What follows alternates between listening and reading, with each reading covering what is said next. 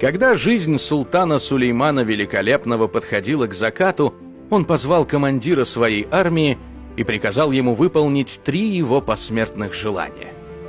Первое. Правитель завещал, чтобы его гроб несли самые лучшие лекари Османской империи того времени. Второе.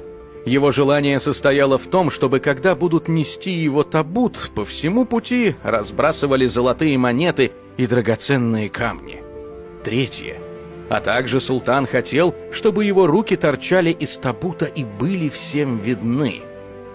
Главнокомандующий армией был обескуражен услышанным. Он спросил у султана о причине таких пожеланий, на что он ответил. «Пусть лучшие лекари несут мой табут, и пусть все узрят, что даже самые лучшие лекари бессильны перед лицом смерти. Разбросайте заработанное мной золото, пусть все видят, что богатство, приобретенное в этой жизни, в этом мире и останется. Пусть все видят мои руки и усвоят простую истину – даже падишах всего мира, султан Сулейман, уходит из этой жизни с пустыми руками. Все проходит. Поэтому нужно собирать сокровища не только здесь, на земле, но и там, где ни моль, ни ржа не истребляют, и где воры не подкапываются и не крадут.